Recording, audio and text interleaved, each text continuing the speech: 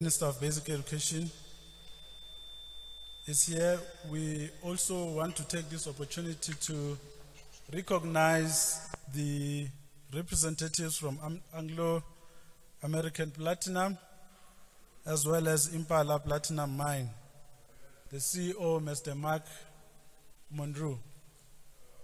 Thank you for being here this morning. We are not going to waste time. I'm going to ask the Minister of Basic Education to come through to address the media. But I need to also say that we have the CEO of the National Education Collaboration Trust, Mr. Godwin Khosa, with us. And we also have the CEO of uh, Rand Water.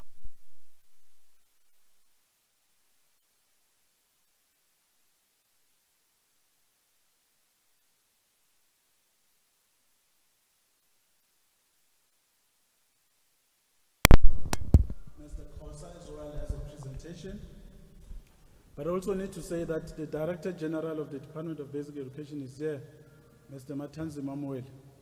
He also has a presentation that is going to make, but all of that will come after the minister has taken to the stage to address us. Minister, I'm going to hand over to you, and uh, please uh, ascend to the stage. Thank you. No, thank you very much, uh, Elijah. Let me acknowledge the Premier, the Temkoro, my colleague, the MEC of Education in Northwest, the leadership of Platinum Mine uh, that gave us a beautiful school. Thank you very much, uh, CEO. Also acknowledge our DG, the Mweli, and the school leadership, the principal and the staff who have really kept this school in a very good state. Uh, I had the privilege to receive the school in my previous term, and it's as I left it. So, congratulations to principal. From the outset, I really have to acknowledge the furor that of the postponement of yesterday's media conference, and for that I sincerely apologize. Due to last minute changes, and I think the media will be aware, that on Saturday we had the CEM, and after the CEM we met with our unions, the governing bodies, but also received our reports and we met for a, almost the whole day on Saturday. And the decision that we took on Saturday forced me to use Sunday to do a series of consultations because on Saturday we had taken the decision not to, not to receive learners today. But it had major implications for the sector because it was very late by the time that decision was taken. There were learners which were on the way to schools, especially from school from outside provinces. There were principals who were not aware of the decision that we took on Saturday, so I spent almost the whole of Sunday consulting. So as I said, I was forced into a number of consultations with a number of key stakeholders who have a direct interest in basic education and resulting in challenges for me to continue with the press briefing we had planned. Because I didn't want principals to first hear from the media that they can't receive learners before we speak to them directly. So I had to engage with Association of School Principals.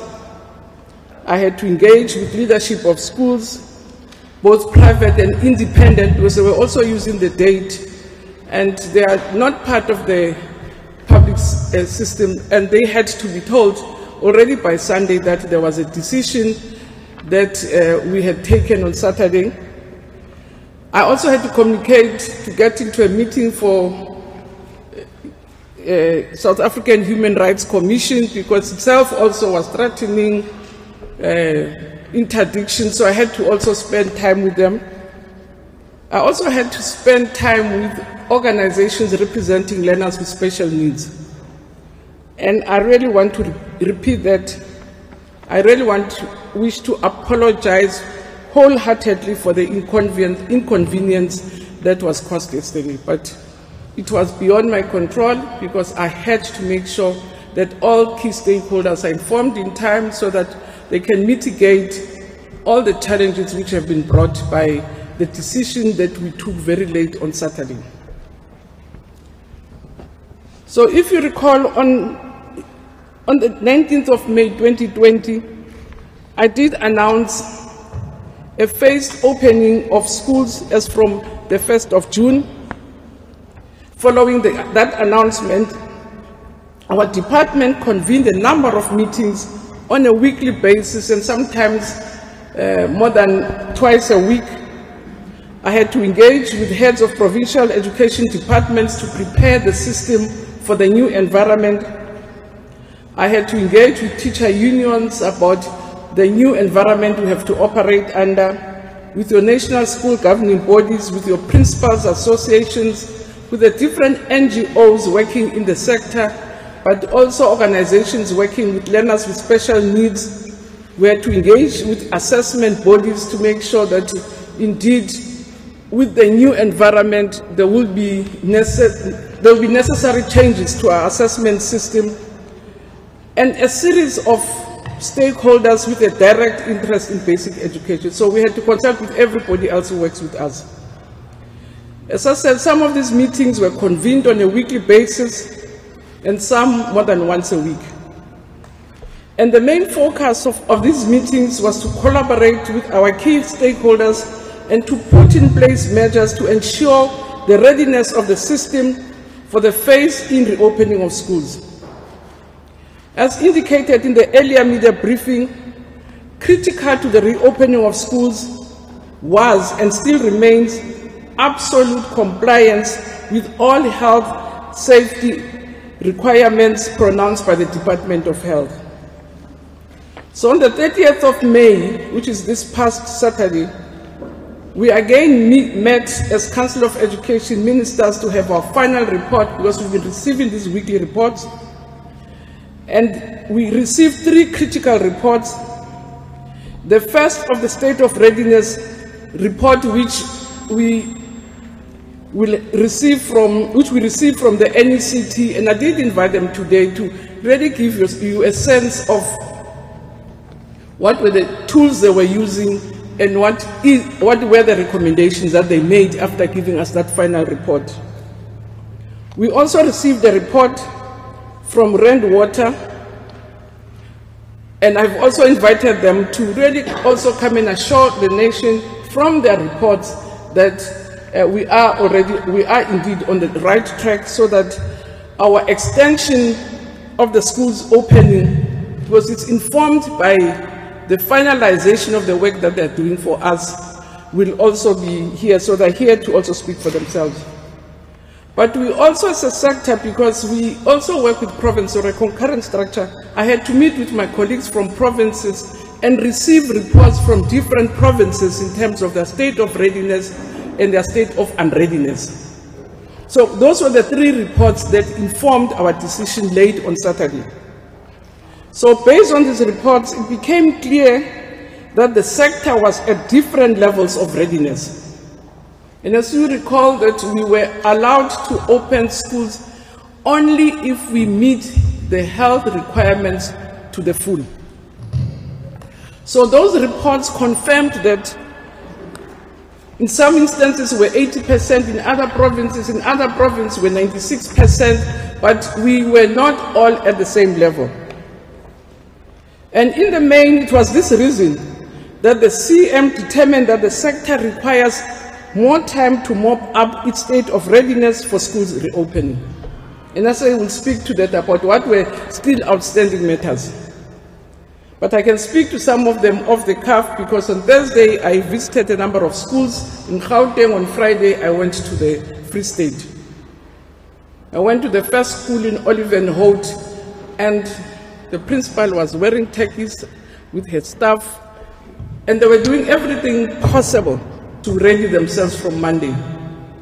And the principal whispered to me and said, You know, Minister, we are here all the time. We leave the school very late, but let me tell you, I will not be ready to teach on Monday. Because the things we had to do are things that ourselves had not anticipated that we'd have to do. Because the most difficult part was reorganizing the curriculum, getting teachers who were not teaching grade 12s to, and just those decisions around the curriculum took the schools a long, long time to come to conclusion. But in terms of your protective clothing, on Thursday they were only delivering the PP, the, the protective equipment by the province for learners. So which means learners will not have been informed already by Friday. So it's a fact, so I think it answers other questions that I anticipate you will ask that it's a fact that I can confirm that by the time I went to certain schools, there were schools that were not ready. From Olievenhoutbosch, I went to, to, to, to, to Midrand Secondary. Again, the principal, the vice principals were having tape measures. Because one thing that we had not thought through properly, uh, uh, uh, DG, we had a schedule on the arrival of teachers and didn't make a schedule on the arrival of other support staff. And you would have expected principals themselves running schools would have closed the gap. So when I went to Ivory Park, it was the principal and the vice principal was busy doing measuring of distances, whereas they had spent the whole week dealing with curriculum issues. Whereas if we had really planned properly, the support staff was supposed to have arrived with the principal and do all the other administrative work. Even the principal of Ivory Park said to me, Minister, by Monday I'll receive kids, which means I'm going to be inducting learners and teachers at the same time. We are sure we'll be finished by Sunday, but we have not met all the requirements and the steps that were put for us.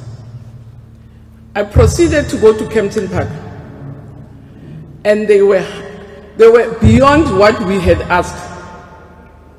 They had inducted uh, parents, not only teachers, they had inducted parents, they had orientated their learners, they were ready, ready to move. Everything was in place. But the, even there, the principal said to me, when my teachers came here, the anxiety in their faces tells me that on Monday we will not be able to teach these learners. We have to really calm them down because it took me time to settle teachers. So I'm just giving example of our experience to say there were schools which were very ready, there were schools that were not ready. On Friday, I went to the Free State. They were beyond ready. When I, one school which I went to, I found them already inducting and orientating their learners. Because they themselves also are saying when the teachers arrived, they were very anxious and they felt that if they were to teach on Monday, they must induct their learners. They had called parents, showed them all the health protocols to reassure them about the safety. Because as you remember, we all said uh, everybody is anxious, and it's very important for us to keep on reassuring each other. So, as a result of those reports, as I say, we took a decision to say, let's use this week to mop up. But it's a decision we took very late on Saturday when we had our final report. And there were different views to say, why don't we let the schools that are ready to proceed, because it will kill the momentum if we say they must not proceed, and focus on the schools that were not ready, because some will be ready at different times. I'm giving an example of Ivory Park. The principal said, at least by Tuesday, I'll be ready to teach. The principal of Olievenhout said, I'll be ready by Wednesday. So, which means we're all unready. But the decision was that there were other key factors around safety for the coronavirus which have not been satisfied, like water. Therefore, it will be risky to have a blanket opening of schools. And it took us long on Saturday to arrive at that. So on Sunday, I had to spend the whole day speaking to private schools because they also needed reassurance. We had to agree.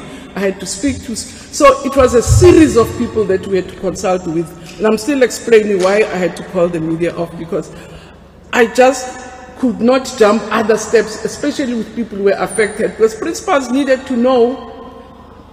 By yesterday, what do they do? Do they phone parents? Do they send uh, uh, messages to say parents must not bring children? And that's what took long. So I want to say again, I'm very, very sorry.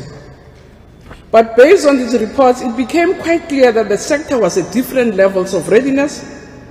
In the main, it was for this reason that CEM, your Council of Education Ministers, determined that the sector requires just more time to mop out the state of readiness for, for school reopening in order to comply with the health and safety standards of COVID 19. So the Saturday uh, CEM resolved that teachers whose schools have already received the personal protective equipment will be expected to report at work on the 1st of June. So we're expecting teachers to come today, and I'm glad the first school I went to, they have a full complement of teachers. They had 25 teachers in their books, they had 25 teachers. But even then, it was qualified that if they have received, because the report was saying as late as Saturday, there are schools which had not received their protective equipment from their provinces. And when they arrive, those teachers have to prioritize the preparation of their work to deal with the new normal brought about by the coronavirus. And that new normal meant different and new tasks for teachers because even here, the principal was telling me that she had, she had five classes. We said five, two classes for matric. We have five. Now you are at eight. So, which means teachers were not teaching grade 12, now have to teach grade 12, and therefore you have to work out in terms of your staffing deployment how do you deploy your teachers? And that was not an easy one because I think as schools we have this tendency of saying your most experienced or most skills go to grade 12, the others. So we've had to reorganize ourselves. So as provinces, we also agreed that we must finalize all outstanding deliveries of your PPEs to schools and the outstanding provision of water and sanitation. Because by Sunday when we met, Rand Water gave us a report. They had not finished. They had, I think they'll speak for themselves. There were schools that they had not delivered tankers to. They're only arriving today. And teachers and support staff should be inducted and orientated for the new environment brought by COVID 19. Because it's the very same teachers who have to be armed with all the necessary information, who in return have to support and induct learners. So some of them obviously will not have been inducted by Friday or Saturday. Therefore, we've agreed that schools which have not inducted people, they should do the induction. And again, as I say, when I was in the Free State, it was a health department, there was a doctor and nurses which were teaching our staff about the virus and all sorts of things and working out the protocols of, link, of linkages between themselves. And we also agreed that provinces should finalize the training of screeners. Because again, screeners were appointed, they had not arrived at schools, but other provinces had done it. I'm told the MEC tells me that she had trained all her screeners, she had trained all her school nutrition uh, uh, uh, members and also volunteers that had come to assist us. Because what is going to happen in the first weeks, especially in the primary schools, we have to help force our children to understand the new environment. Uh, there are going to be different assembly points. They're not going to be able to interact with their friends. They are going to have different breaks. They are going to leave the school at different times. So it's a new environment because they must not be crowded at the same place.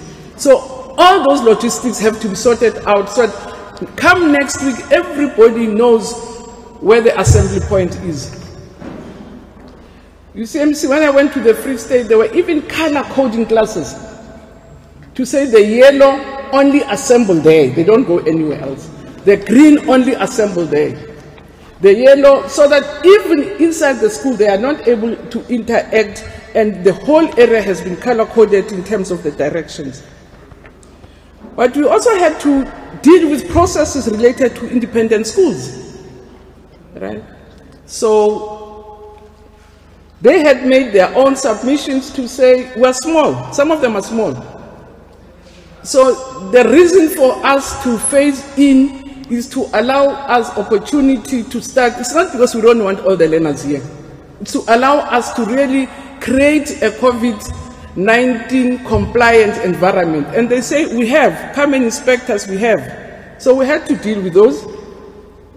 We also had to deal with schools of learners with special needs. Because even those are, are different, they're therapeutic, they're a different space that we had to work through.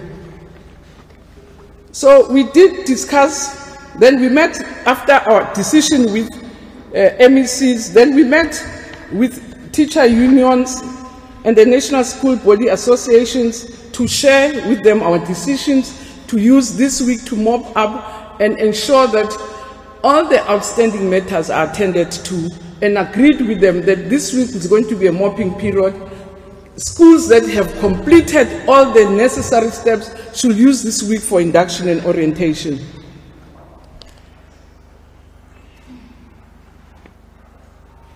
So let me not repeat that. So what is happening now that provinces are now putting the shoulder to the wheel to ensure that all prerequisites not yet fulfilled will be delivered within the week one of June. And together with our partners, agreed to another meeting on Thursday to continue to monitor and evaluate all outstanding compliance imperatives. For instance, we also had situations where, because we announced late our decision on Sunday, parents had started driving their kids to school. I mean, parents phoned me to say, I'm in the Eastern Cape, my child is in a boarding school. Are you saying I must come back? So we had to deal with all the matters that really were a fallout because of the late decision.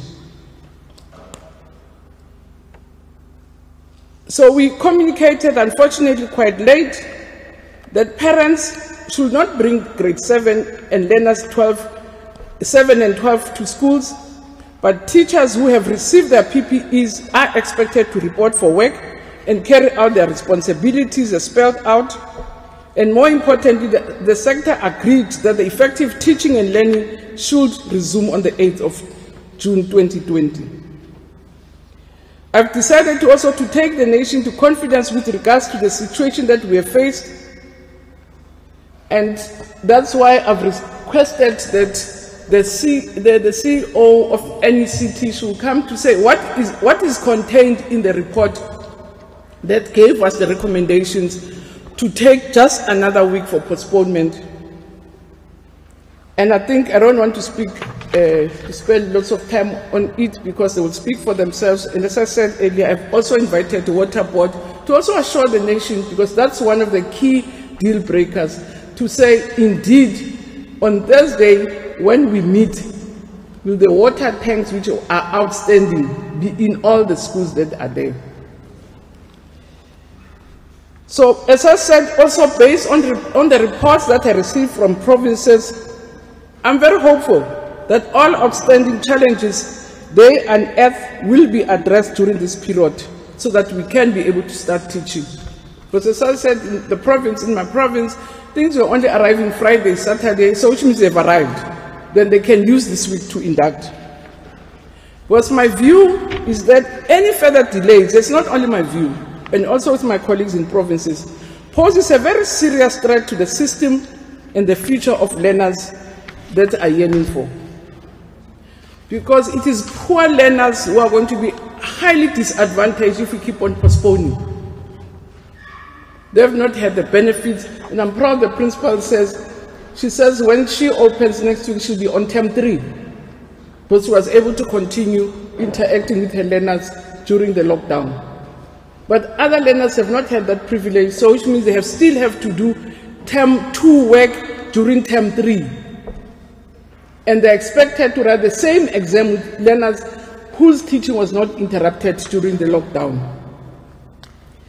But the other matter, I said, colleagues will speak to the other matters. I thought I should also go through, Chair, the directives that we issued on Saturday. So on May the 29th, which is a Friday, as DBE, we issued a government gazette with directives regarding the reopening of schools and measures that address, prevent, and combat the spread of coronavirus in the basic education sector. And these directives were issued in terms of Regulation 4.3 of the regulations which were developed under the Disaster Management Act of 2002 and was published on 29 April 2020. And the main purpose of these directives is to provide the arrangements for a phased return of educators, officials, learners, and support staff to schools and offices. Number one, in those directives, that in terms of the movement of people between provinces, because we have teachers coming from Eastern Cape teaching in Northern Cape, or teachers from Eastern Cape teaching in Western Cape. So, in terms of the movement of people between provinces, metropolitan areas, and districts, there will be a permit issued for officials and educators under alert level 3, which means from today, We have to commute to and from work on a daily basis. And these permits will be issued by the heads of department or a delegated official. There will be a certificate issued to learners who have to commute to and from on a daily basis, which will be issued by a principal of a school. For instance, in your area like Parys, where kids study in the Vaal, again, there must be a permit which is issued, and the issuing of the certificate must be done in compliance with the regulations. And even a person transporting a learner to school must also be issued with a permit.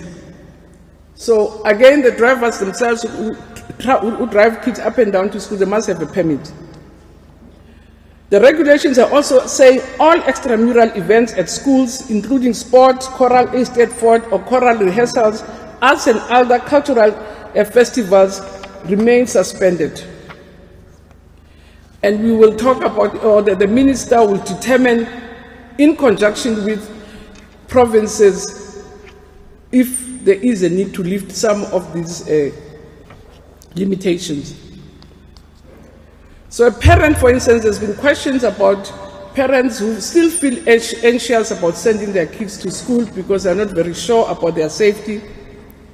The, the, the directives are saying a parent who chooses not to send a learner to school must apply to the head of the provincial education department, who, in the terms of the South African School Act, can exempt a learner entirely, partially, or conditionally from compulsory attendance. And if such an exemption is in the best interest of the learner. And a parent who chooses not to send the learner to school is obliged to apply for home education. So if your child doesn't have your underlying comorbidities, will fall under the second category because the head of department or the principal has to give an approval. So you can't keep your child at home to say, I'm anxious. And therefore, we find ourselves having to support you. No. If it's reasons that the principal has not accepted, especially mainly around health issues. So a parent who chooses not to send a learner to school is, ob- is obliged because basic education is compulsory. So education of children between zero, between six and fifteen is compulsory by law. So it's obliged to apply for home education in terms of the relevant section of the South African School Act. So they must go and familiarize themselves with the conditions of homeschooling and comply because even then you have to apply. You just can't keep your child at home. You have to apply and meet all the conditions that are required under homeschooling. So we have been receiving many inquiries regarding the matric examinations, and it is clear that a lot of anxiety on the, there's, there's lots of anxiety on the matter, and we had to gazette it as well, since it is also an extremely sensitive matter in the basic education system. So we've given directives formally that the May June 20 examination for candidates who registered for the senior certificate and national certificate is going to be administered in December. So those are your adult learners or your part-time learners so we had to agree with Umalusi, which is our examining body, that we will only assess those learners in December. Unless unforeseen circumstances occur, in which instance I, as the minister, will take the necessary determination. If anything happens, the country says we can't go to work for some reason, we will then have to take a new decision. But for now, the decisions that the learners were supposed to write in June will write in December. As indicated in all previous media briefings, the health and safety of learners, teachers, and all employees within the school, within schooling are our major concern.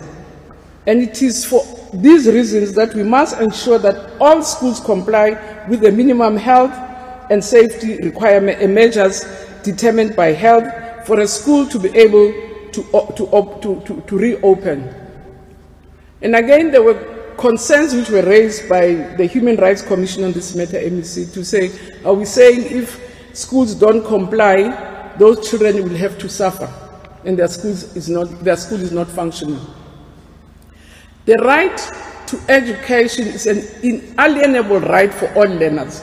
So which means ourselves as a sector will have to find alternatives for those kids to be able to access their rights without being prejudiced by the fact that we are not able to provide conducive conditions. So I thought I should clarify that because it has been coming repeatedly. That if we really find it impossible, by the time we say there must be learning and teaching, as a sector we have an obligation to find an alternative for those learners so that their rights to education is not compromised. Again, any school or office that does not comply with the minimum health and safety measures, such as schools or offices, will remain closed. I know of some offices in Bolobedu which are in the chief's uh, office, so he gave them a rondavel, all, all, all of them squashed in that rondavel. So obviously, we, we can't operate from there any longer. So we have to find alternatives for those, for those officials, even if it means we send uh, mobile, but they, will, they can't operate the way they've been operating. Again, in keeping with the focus on health and safety, the directives clearly state that all offices and schools must develop a work plan. I must say, in the schools that I visited in the country, I did find COVID-19 files. Principal, hope have also a COVID-19 file and we urge all schools to comply in this regard. Parents and guardians must not send their learners to a school if learners show any of the coronavirus symptoms. The screening symptoms, the screening of symptoms must be conducted at offices of, or schools according to the Department of Health guidelines. We have since made this available to schools, again, those guidelines, and we urge all teachers and relevant officials to familiarize themselves with the health guidelines. And I think that's what we would have observed, that every school, they will set the station before you get into the main premise to test the temperature, screen, collect information on your age and everything else. So all schools are expected, and even offices, are expected on a daily basis to comply to those guidelines. So we agree that we need to work extremely hard to comply in order to prevent the infections, because that's a condition around which cabinet allowed us to open to say, when you say you are going back to schools, like all of, everybody else is going to back to work. Rule number one, you have to prevent infections in your workplace. So which means you have to put every measure in place that there is no infection in the workplace. So there are steps that have, have been taken, outlined in the directives to help us prevent the spread of the virus. Every office and school must have easily accessible and sufficient quantities of hand sanitizers based on the number of learners, of educators, officials, or persons who access the offices or school entrances. Offices and schools must have facilities for washing of hands with soap and clean water. The cleaning of surfaces and equipment is mandatory. A mask is a, a mask is a must in every instance. Offices and schools are required to provide a minimum of two cloth masks to learners and educators, officials and support staff. We have observed that schools have been working very hard also to configure the physical environments, from staff rooms to classrooms and the play areas. This is not a matter of choice. All of us must ensure that we comply with the social distancing requirements in order to comply with the health and safety requirements. The major challenge for us as a sector has been around the management of the curriculum and teaching.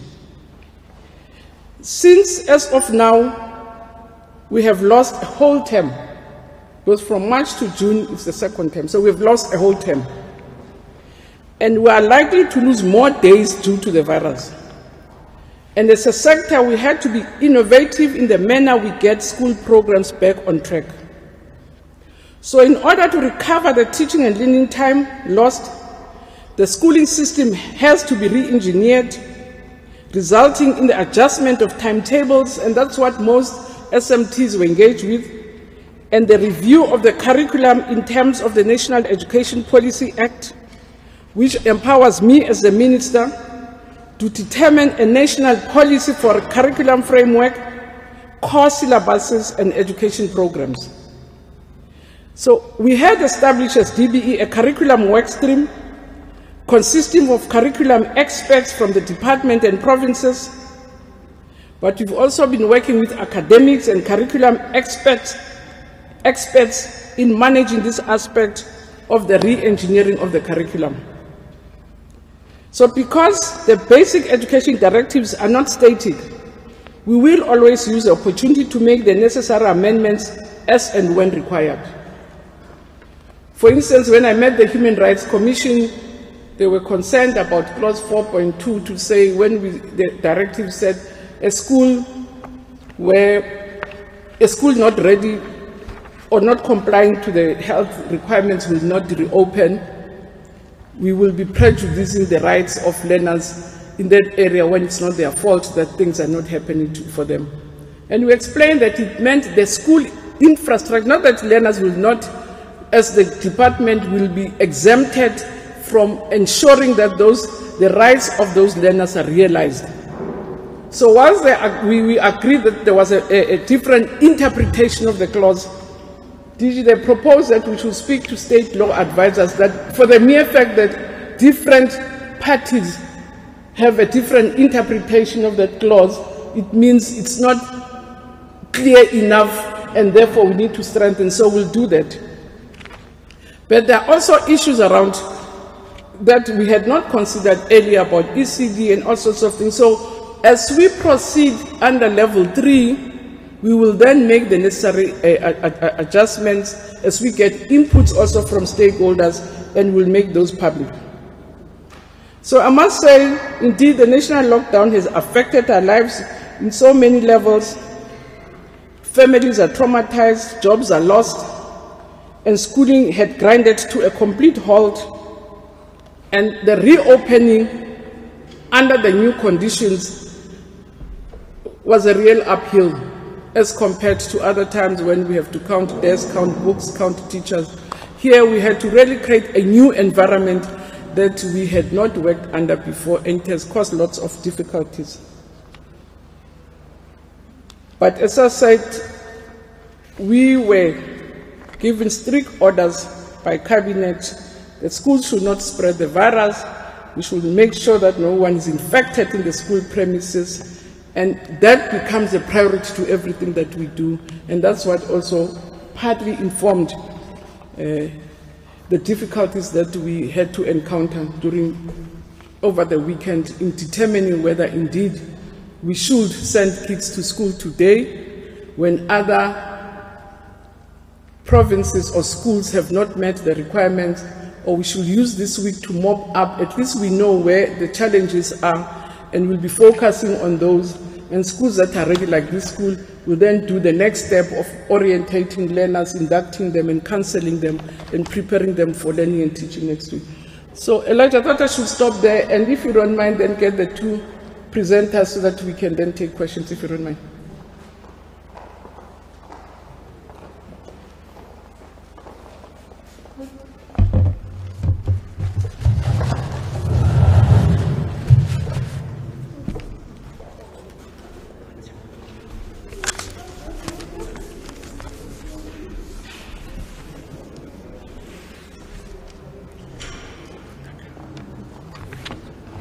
Thank you so much, uh, Minister, for the speech. Um, before we proceed to the presentation, um, I'd like to also acknowledge the, pres- the presence of uh, the Executive Mayor of Bojanala District, uh, the district municipality, Mr. Mo- Molosiwa. I also like to recognize the mayor of Rustenburg, Rustenburg local municipality, Mr. Mpho Khunou, as well as the HOD of the Education Department in the Northwest, Ms. Stefina Simaswe. We also have the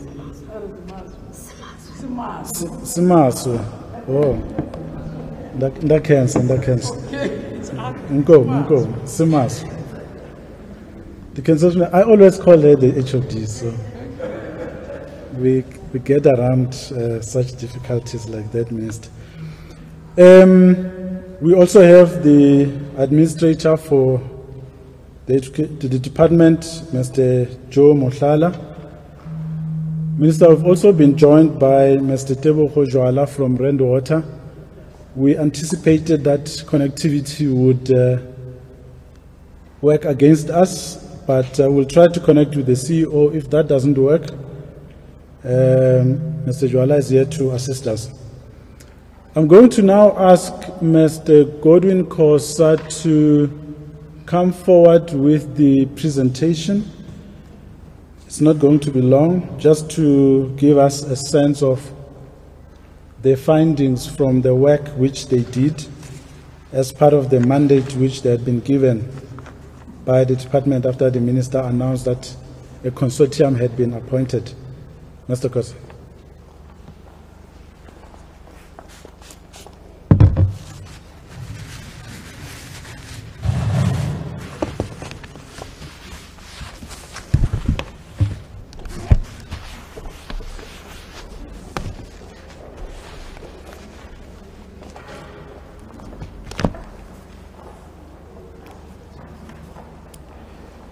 Um, Minister, Premier, uh, MEC, and the leadership of the province, DG, and um, the colleagues uh, from the department that are here, and of course the members of the media.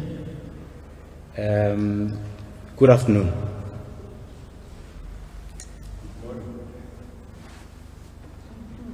It's 10 minutes before afternoon. My, my, uh, my mental watch is, uh, you, know, in, you know, ahead. But good morning. You still have 10 minutes to enjoy the morning. Um, my name is Godwin Khosa from the National Education Collaboration Trust, and I'm presenting here a report of the consortium that comprises the Human Sciences Research Council, um, Entika Consulting, Uh, Research 94 Plus and New Leaders Foundation, who have, you know, been set up under the leadership of the National Education Collaboration Trust to undertake the monitoring and evaluation of the preparation towards the readiness of the schools. And I'm going to share with you a report that we shared with the Department of Basic Education on Saturday, this past Saturday. Um, the uh, Mr. Mhlanga, the logistics are just a bit challenging because I must present looking there. But nevertheless, um, as he indicated, it's not going to be a long, you know, presentation. What I want to share with you is uh, the approach that we have taken, the uh, high-level observations that we have made, as well as the recommendations that we have made to the Department of Basic Education um, on Saturday, um, this past Saturday. So, um, if you could turn it a little bit this side, uh, Terence. my sight is challenged, so I'm going to take this thing and walk closer. Oh.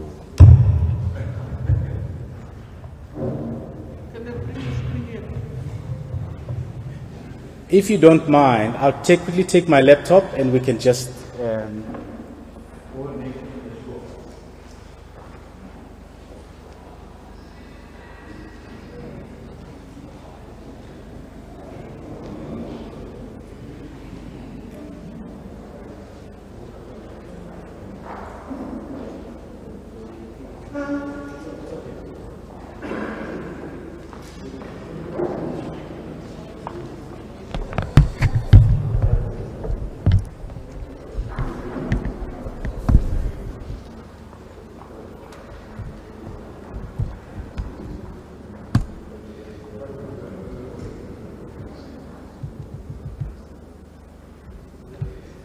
Okay, my humble apologies for the, the hiccup.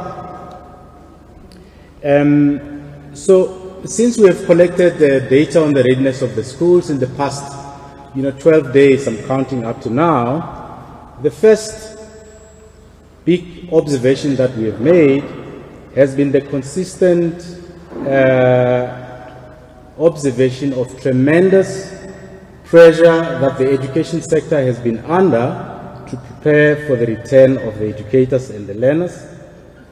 We have also discerned the anxieties in the country and generally, generally and specifically in the surrounding, uh, surrounding the return of the schools. Thirdly, we have observed that the department has and is you know, continuing to collect different forms of relevant evidence from the various levels of the education system in order to help you know, make decisions from within uh, the Department of Basic Education. So what happened towards the end of last year is that we constructed a snapshot of the state of affairs as at the 27th of May 2020 and this was done with an anticipation that more work was still going to happen through the provincial departments you know through to the end of Sunday the 31st of May um, Next is that we have, we actually, um, due to the fast-paced nature of the preparations, there has been some, you know, issues remain, relating to the limited completeness of information when we finalize the data, and you'll see some of those in my presentation. And of course, this has largely been to uh, the fast-paced nature of the readiness preparations that I've indicated, and the varying abilities of province, provincial departments to respond to um, the task of preparing schools as well as reporting, which uh, latter task was competing with the primary purpose of preparing the schools. So the work that we have, you know, the report that we presented on Saturday, you know, followed an engagement with a steering committee within the Department of Basic Education on matters pertaining to the methodology for the monitoring of the readiness. And we have subsequently presented the report on Saturday to the heads of uh, uh, education departments as well as the Council of Education Ministers on, on Saturday. So the, the monitoring and evaluation has been crafted around very key questions, the first of which was are schools ready to receive school management teams, teachers, and grades 7 and 12 learners as the first you know, question. The second question had been, what is the level of readiness at the various levels of the system? So at provincial level, at district level, or circuit levels, as well as at school level. The third question, logically, uh, was what are the blockages to readiness if there are any? And the next was what would have been the risks, the health and safety risks in the schools? And the last was just overall observations that you know we made about the readiness of the system. So the summary observations that we made initially to uh, the heads of education departments in the morning on Saturday um, were five in number. The first is that we recognize that readiness is not an absolute measure, but a relative measure. And the understanding from that is that readiness actually, uh, the understanding of readiness comprises a number of expectations. And I'm going to talk a little bit more about that. The second overall observation was that although much work to prepare the schools had taken place in the past three to four weeks, the absence of emergency response systems and culture has, had, has made it difficult to manage the readiness preparation. The third was the PPEs, personal protective equipment, tracking and verification that we undertook, which was initiated in the 10 days that I cited, pointed to a checkered state of readiness across the country. The fourth was that most of the provinces had procured and started distributing the PPEs largely for the school management teams, and some provinces had started distributing for teachers. And most of them were actually still preparing for the rollout of the um, learner PPEs. And the last broad observation was based on the PPE delivery tracking and data from the sample school surveys, we then made an overarching opinion which was it was highly unlikely that majority of the schools nationally were going to be ready to open on Monday the 1st of June 2020. So there is lots of data that we have collected on when did each, for instance, on when did each province procure its material, where the procurement processes were, where whether provinces had started distributing, and where the distribution process had reached at the various levels of the system, and whether the distributed amount of PPEs were going to be sufficient, at least for the staff and the learners who are doing grade 7 and grade 12 expected in schools. So I'm not going to go through the details, but I'm going to share, you know, share with you um, the fact that in, in collecting all that data, we have started actually making some of the live systems that are available with um, the provinces. And we made the following overall observations. The first was some provinces were still procuring certain items. The second was that actually, the closer we got to the distribution and the identification of what blockages were there, the more we re- recognize that actually part of the challenges were from the supply side of things. There were shortages of stock, particularly cloth masks in the market. There was an undersupply of that. Um, some of the appointed suppliers did not have adequate stock themselves or the ability to produce those. And in fact, some of the suppliers misrepresented their abilities and capabilities to supply the PPEs. So you could have expected that that has had a knock-on effect on the pace of the delivery of the, of the PPEs. So various delivery methods were also um, adopted by different uh, um, provinces. You know, each province followed a different distribution model, some less effective than others, generally less automated, and with the number of PPEs that had to be rolled out to the schools, it was going to be difficult to manage you know, the magnitude of the problem with limited automated processes. This resulted in reporting being less effective. Deliveries are done at central stores in some cases, moved to the districts for the districts and the sectors to then move to the schools. But there are a few provinces that had actually taken the route of di- distributing directly to the schools. Um, from an administrative point of view, it became quite glaring that the supply chain uh, processes could not deal in the, at the provincial level, could not deal with the emergency with which the PPEs had to be procured. The PPE procurement process was actually disrupted, was also disrupted by the withdrawal of the initial arrangements that provinces or government had to deliver PPEs through uh, the Treasury Instruction 3.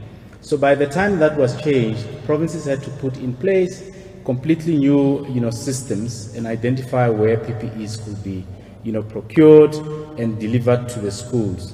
There are a whole range of other logistical, you know, issues relating to transportation and distribution, as well as, um, you know, uh, um, protests in some of the areas to block, you know, the delivery of the PPEs, um, you know, in schools.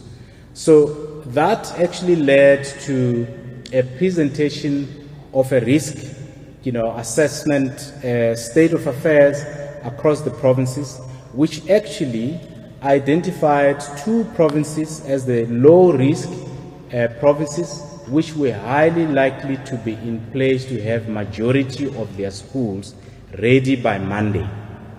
Four provinces were identified to be in a medium risk you know, category, which meant that the, the likelihood of them to have most of their schools ready was much limited.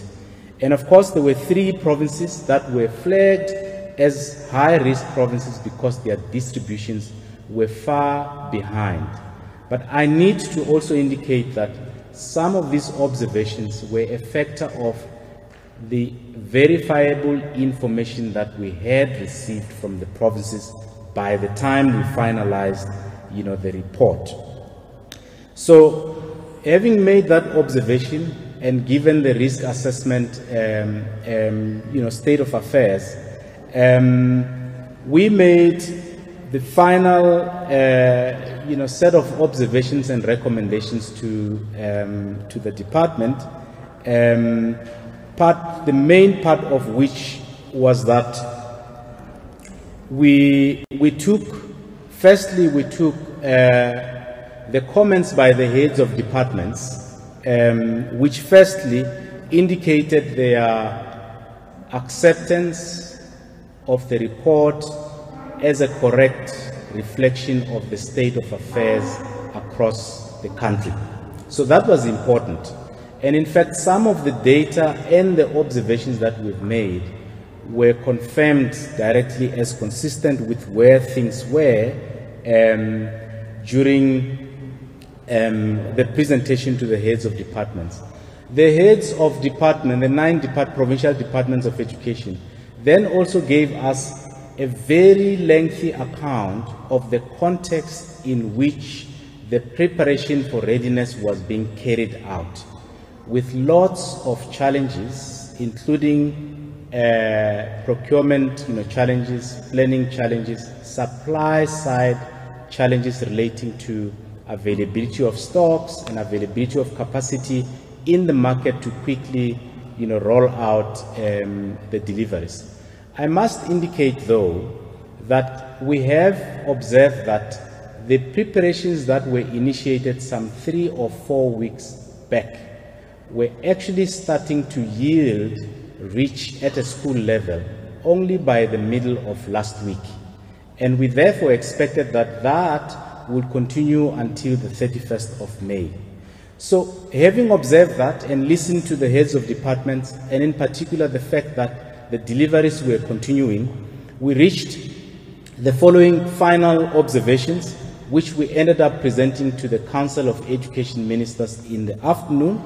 One was that progress had been made by the provincial departments from the picture that we had on the 27th of May and the nat- national institutions such as Water, who were rolling out the, the deliveries of water to meet the readiness requirements. The second final observation was that an increasing number of schools are increasingly meeting the requirements for readiness.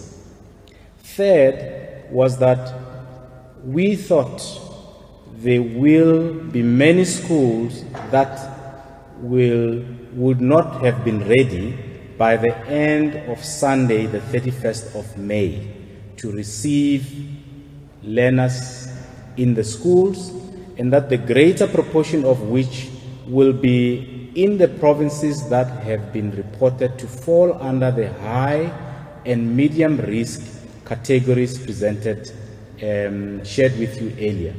This observa- observation, you know, obviously we made in the context where um, we invited provincial departments to confirm or disconfirm the observation based on relevant, verifiable information which was provided to us by Saturday.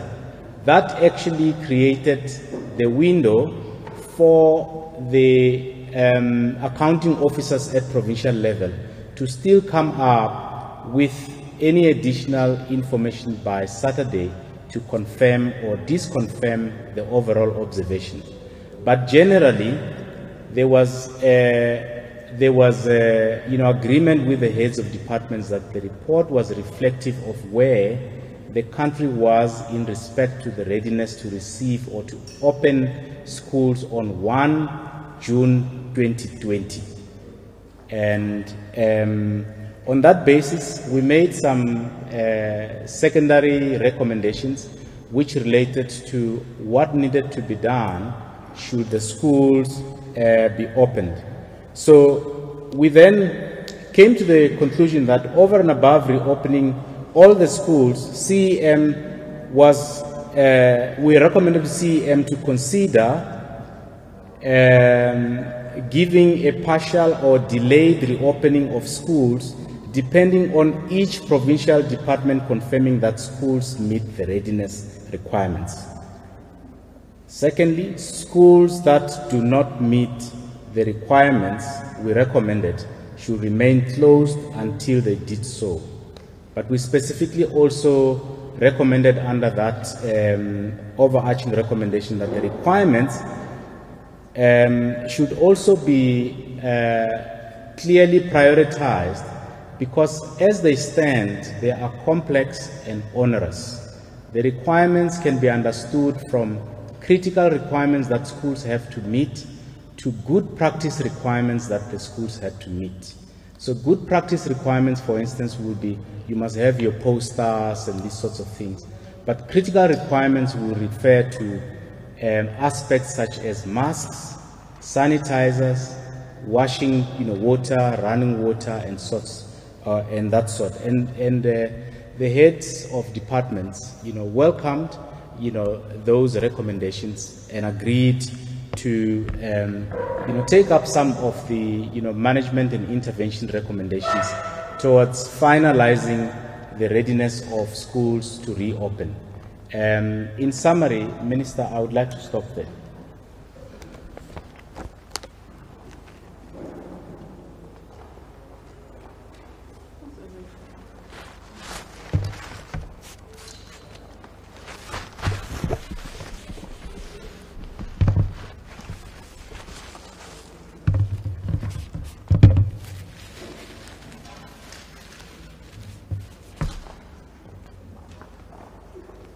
Thank you so much, uh, Mr. Khosa, for the presentation. I'm now going to invite Mr. Tebogo Joala from Rand Water to take us through their presentation. I'm not sure, Terence, if we are able to connect with the CEO. Um, let me know. Otherwise, I'm going to ask Utabuko to to go through it. Can we see the CEO?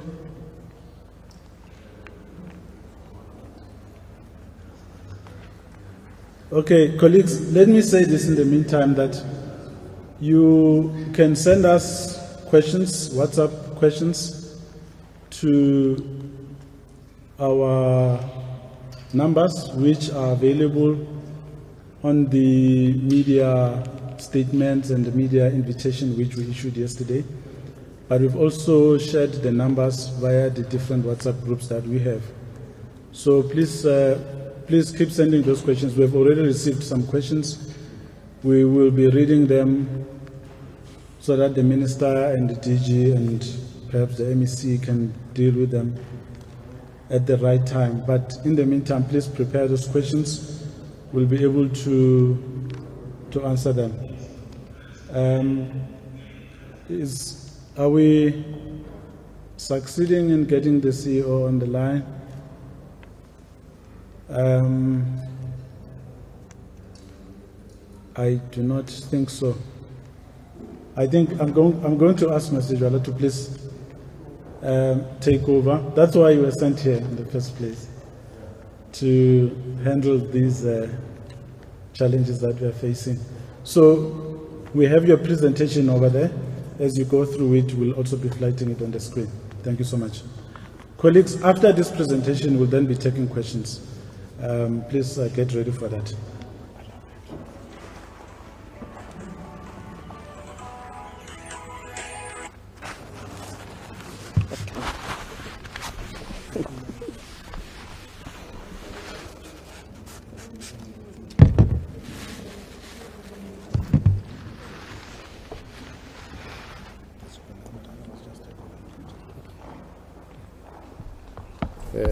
Much, uh, Program Director, and uh, good morning or good afternoon, Minister, uh, Premier, uh, DG, uh, I think there's uh, Executive Mayor, colleagues from the department and uh, the Northwest Province. Um,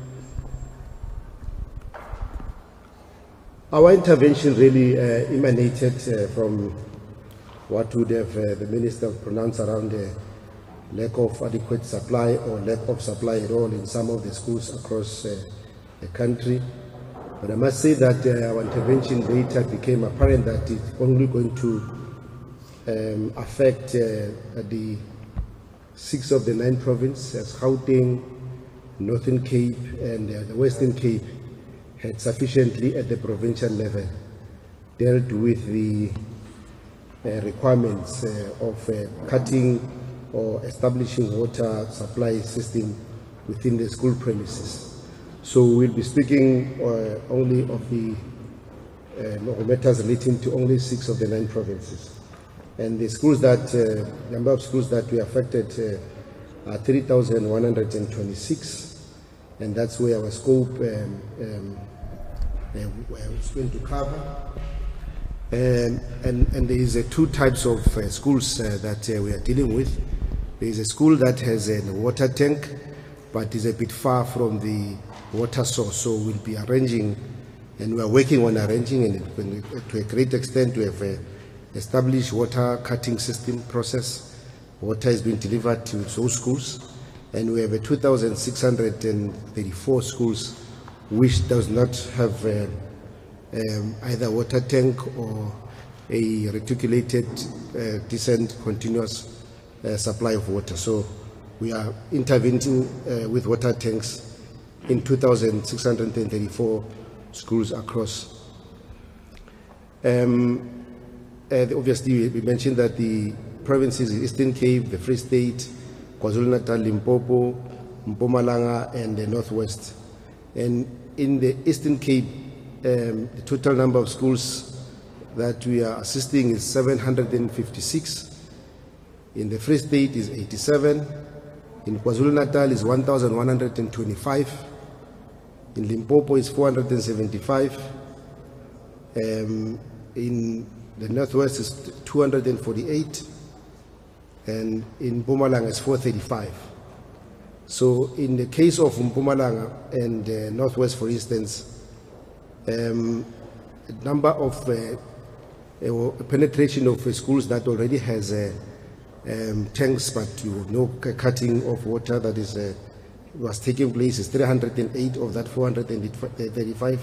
In the case of Mpumalanga, in the case of Northwest, 184 schools already have tanks and a great number of them we have started cutting water into. Um, the rest of the other provinces did not have any uh, such uh, uh, tanks already, so we have to put both the tank and the um, and supply water. Um, the number of schools, uh, as I mentioned, in, in the northwest that already has tanks, it's 184, and uh, 47 of them are already ready. Uh, that means we have already cutted water in. Uh, they can open, and where there's no challenge of water anymore. And then 137, we're still addressing them. In Mpumalanga 308, we already have uh, we have tanks in there, and then 17 of them are ready, and 291 uh, we are assisting. And uh, in KZN, uh, we we have already assisted with uh, 60 schools, uh, at, or at, at least at, at 60 schools, and Limpopo 21, and then overall it's 145. Um, so when we go to schools that does not have um, um, tanks, where we are already uh, supplying tanks, so we've started supplying tanks over the last uh, couple of days. In Eastern Cape, like we mentioned, we have uh, 756 schools to assist. 11 of them we've got we've supplied tanks and water, and 85 of them we have um, tanks at the school. We're busy setting up temporary uh, establishment uh, because we're doing it in twofold. So we'll have uh, immediately just so that there is water and there is a supply of uh, uh, of water at the school. We won't wait until we build a whole stand or a plinth that is uh, bricks and mortar based. We'll have a temporary installation, and then we'll, the second phase will be uh, to establish um, the to, to, to build the plinth and uh, some form of uh, uh, of, of uh, stands, depending on the material condition on the ground. And then and 189 of them, we have already uh, delivered tanks at the school premises. Uh, 289 of those schools, the tanks are at the central point at, the district and they are being delivered to the schools in the next couple of days. In the northwest, uh, we have 84 schools and then uh, 12 of them are already ready. I mean, 84 in terms of those that require uh, new tanks, and then delivered at the school premises are those 12 which are ready, and then we have uh, 33 at the central point that are being transported between today and tomorrow to those specific schools. And the total number of, of uh, tanks ready and uh, uh, the supplier uh, uh, premises which are going to go into school. so at central point are 19. Free State, we have 87 that allocated, and then uh, 20 of them are ready. Can, the kids can move in, and then 30 of them are already on the school premises ground.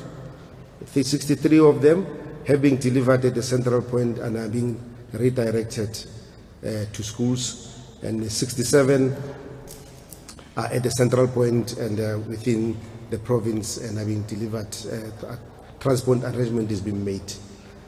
With regard to Limpopo, it's 521 total allocated for tanks. Um, 46 of them are ready, and 134 of them are at the uh, supplier premises and are being carted, transported uh, uh, soon to various uh, schools. And that's we're recording 138 in total of tanks. So in Mpumalanga, we're talking at about 127, and uh, 127 of them are at the central uh, depots of various suppliers and they have been transported. In KZN, uh, we're talking about 1125, and then the total number of uh, schools that are ready, uh, where where we already supply the tanks and we fill them with water, it's eight. And then there are some of the schools that where, uh, where we have uh, the tanks at the um, school premises is 65, and the, some of the tanks that are at the central point of suppliers is um, um, 31. So we are talking about in, uh, an intervention of about uh, um, 626. Okay, if we have to tell you about the current location of tanks, those in the Eastern Cape, for instance, we have uh, um, extra tanks that are within the province but will be delivered at the school. We have um, 100 tanks uh, in Free State. We have uh, 138 tanks in Limpopo and 395 in KZN.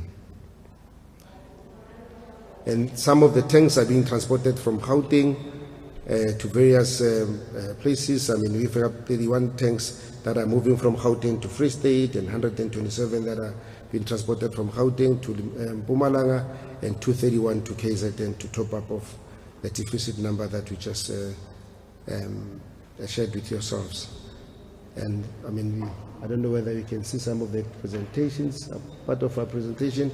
We have various pictures that demonstrate and show a number of interventions. Some of them are in trucks that are in transit um, uh, uh, with tanks, and some of the tanks that have been installed at various schools uh, that show that the water is already flowing and we are ready to start the school calendar once again. Thank you very much, Elijah, the Minister. Thank you. Thank you. Thank you very much.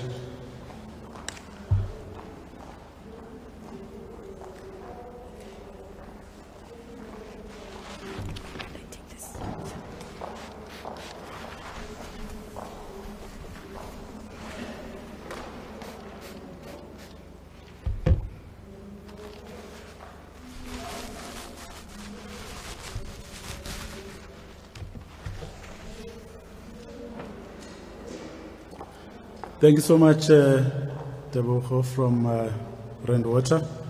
We appreciate that presentation. Um, I'm now going to ask Terence to read the first batch of questions which we have received from members of the media. Um, Terence, over to you. Please read slowly uh, because we want to give the, the minister and the panel an opportunity to write them down so that they can deal with them. Over to you. Um, the first question is for the minister. It comes from Sidwell Buduga of the Mail newspaper. We have seen several schools around the globe being closed just a few days after they have been reopened because of hundreds of pupils that have tested positive for COVID-19. Uh, given the news and the fact that the virus is spreading so rapidly in South Africa at this stage, do you still believe that it is safe to open schools next week? The second question comes from Tao Mutuping, who is from SABC. Some private schools have been asking parents to sign indemnity forms. They will not let kids back to school without completing these forms. Is the department firstly aware of this? Where, where schools want to absolve themselves from possible COVID-19 infections, which might happen at the school? The third question comes from Luyolo Mkentane of the Business Day. How many private schools have been allowed to reopen across the country, seeing that private schools in the Northern Cape have already opened today? Luyolo's second question is, what is the Minister's response to the education sector's union's rejection of the phased reopening of schools? Luyanda's third question is, the unions have also called on all schools, even those ready to receive learners, not to reopen if PPEs have not been delivered to all schools across South Africa. What is the Minister's response to this? Are unions frustrating the department's efforts to welcome learners back on 8 June? We have a further question from Jacob Roy from the Report newspaper. Jacob Roy asked, my question is about teachers with chronic diseases. I understand they are supposed to hand a letter to the principals, but will they have to wait until the department approved wi- until the department has approved it, or can they stay home when they handle while handling this letter? We have a question here for Mr. Godwin Khosa. Can, can Mr. Khosa say which are the provinces that were high risk, medium risk, as well as those that are ready? Can he elaborate on the protests that blocked the deliveries of PPEs? Where were these protests? And did they establish why people would block the delivery of PPEs? And has this issue been resolved? We have a further question from uh, Tsegofato Moagi from eNCA. Tsego asks, what is the plan, what's the plan with the Western Cape, seeing they've welcomed learners already? There have been a lot of people saying schools in Limpopo as well as the Eastern Cape aren't ready at. Are there any plans to go to these areas or any rural area at all? Thank you. Those are the, those are all the questions. For now, those are all the questions for now. There's a lot of them that are coming through. But we are going to take this first round of questions, and I'm going to ask the ministers to please uh, come through to address the questions that have been asked. Thank you, Minister.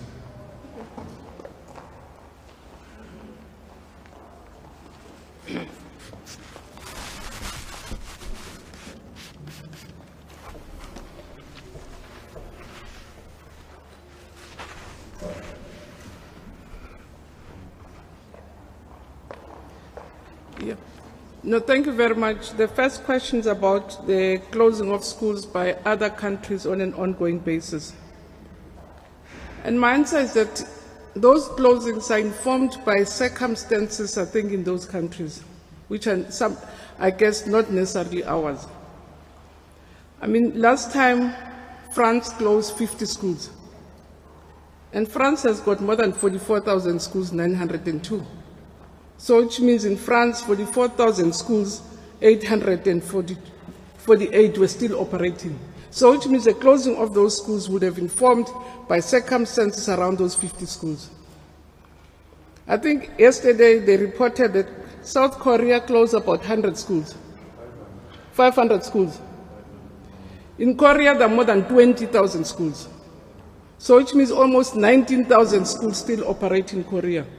So I'm saying different circumstances will inform.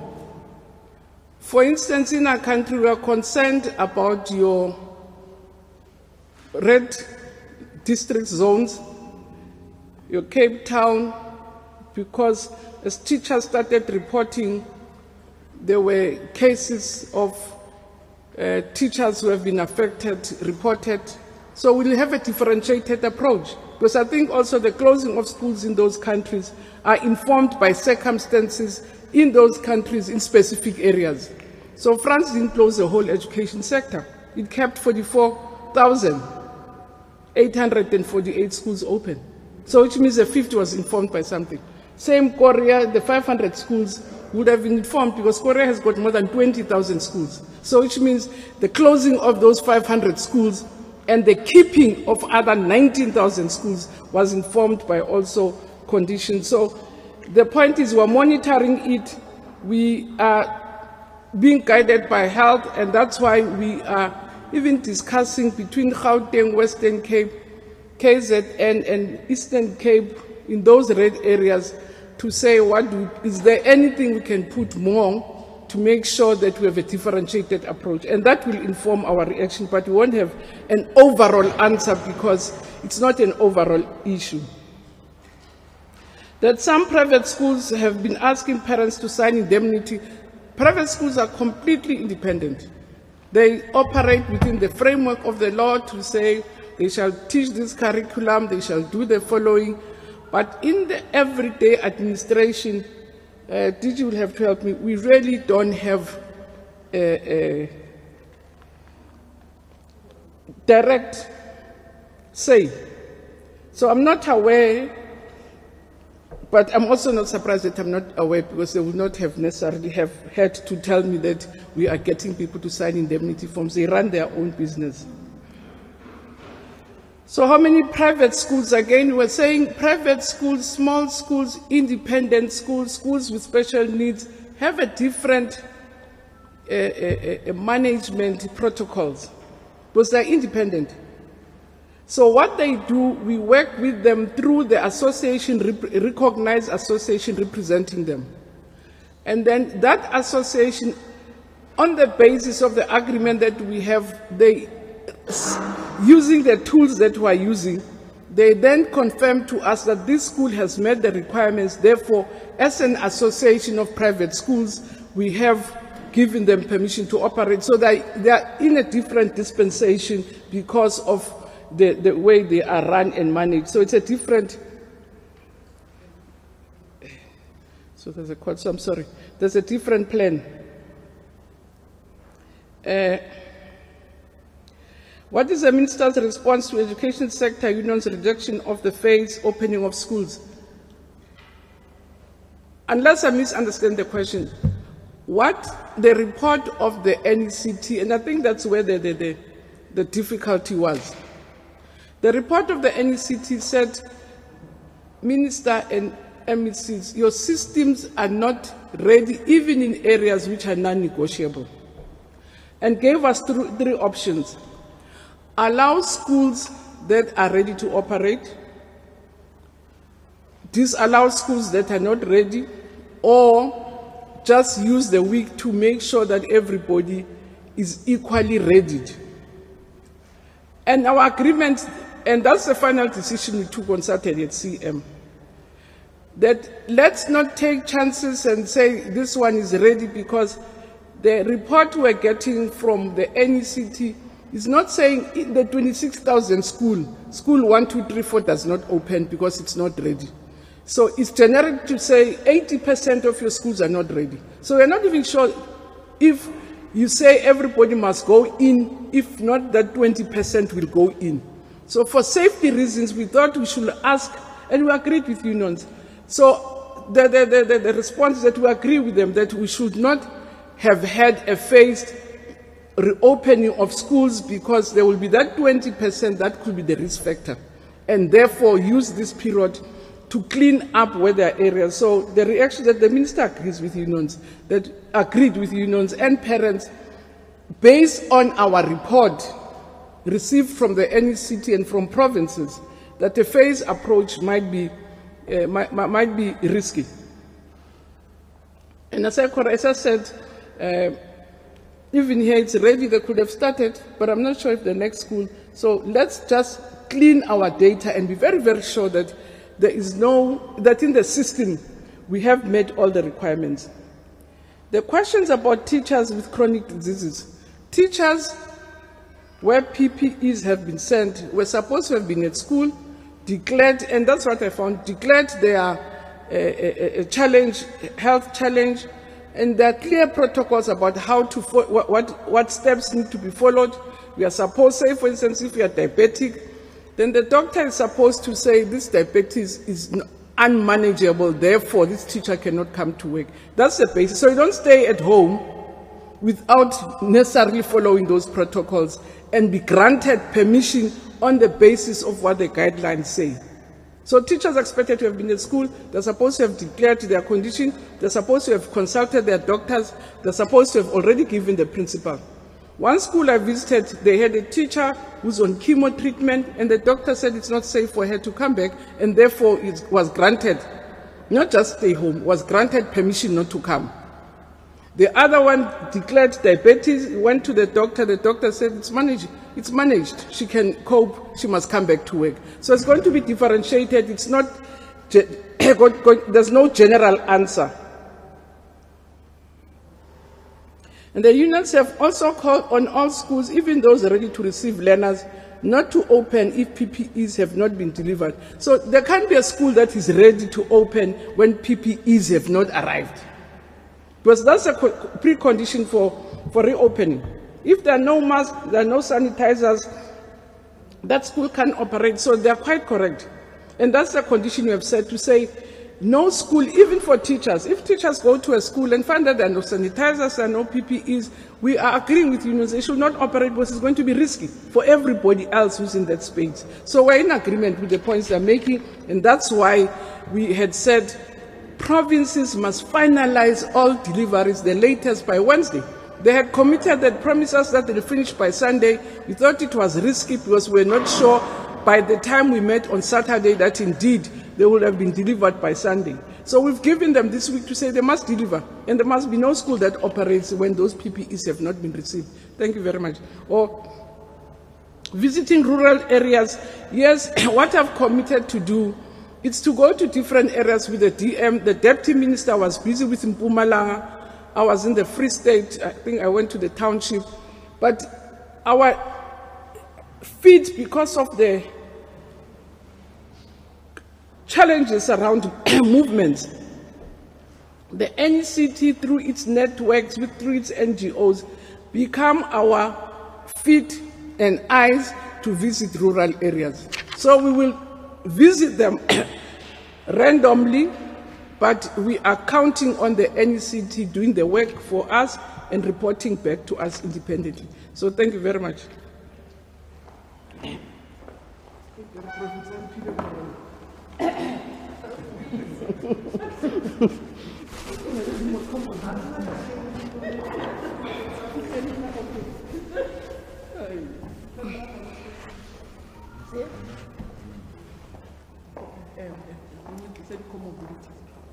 Um, Thank you, Minister. There was a question, uh, DG, I've noted you, you will come through.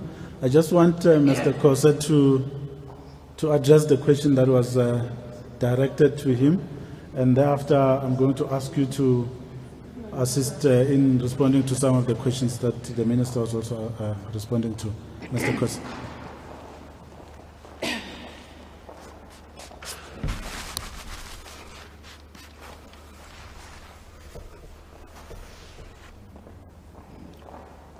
I never before have doubted uh, Mr. Mhlanga. So that's why I wanted to work straight to the, to the mic. But this time around, we must doubt each other. Every time somebody speaks, you must uh, wait for them to clean. So there were two questions. Uh, the one question is about which provinces were uh, flagged at which category. So the provinces that were identified as, you know, largely ready were Gauteng and Western Cape. And the provinces that were, had a medium uh, rating of readiness were Northern Cape, Free State, Northwest, and the Eastern Cape. And the provinces that were um, rated with a high risk, low readiness level were Limpopo, Mpumalanga, and KwaZulu Natal. So I, I must just re-emphasize the point that I made earlier on about the strictness of this kind of verification and tracking. So the level of strictness, I mean strictness that we adhered to was akin to that is observed by auditors. So where we did not have verifiable information, we could not take any, you know, report, verbal reports and so on. Therefore, the rating, the scoring of these provinces also depended on the level of reporting, that is the provision of the verifiable, you know, information. The protests, where they are, why, and whether they are uh, resolved, um, I don't have the, the, uh, the details of the um, you know, localities, but uh, a couple of them were in Gauteng and in other provinces.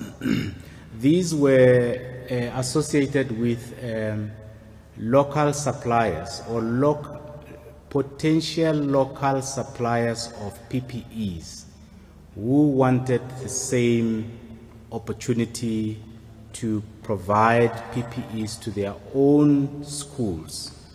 Um, and perhaps it's important to indicate that um, there are several provinces that had actually gone for approaches that involve SMMEs in the provision of the masks and related PPEs, as well as in the distribution of these uh, PPEs from um, warehouses.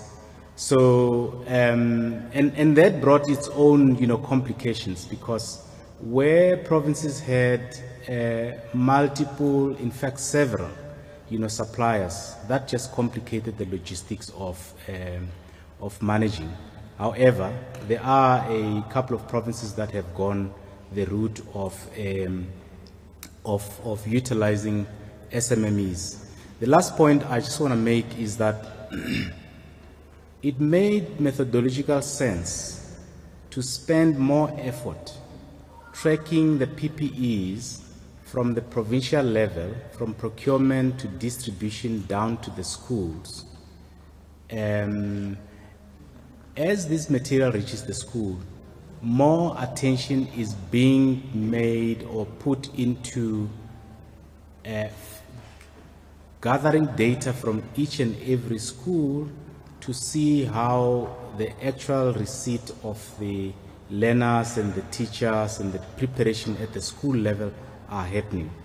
On Friday, we started rolling out the school-based verification, and I can say that the team had got, gotten to about 30 schools, in fact 27 to be precise, and more schools will be visited in the coming couple of days and weeks in order for us to get a much more granular understanding of how the schools are dealing with the final preparations and receipt of learners in schools. Thank you.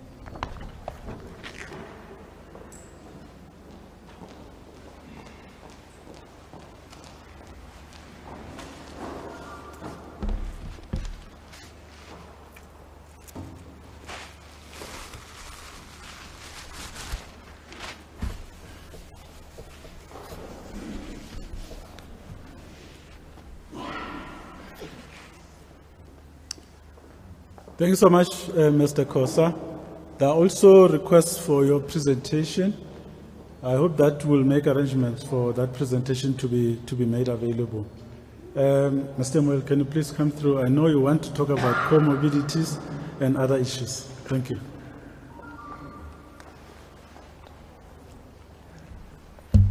Good afternoon. I'm, I'm vertically uh, advantaged.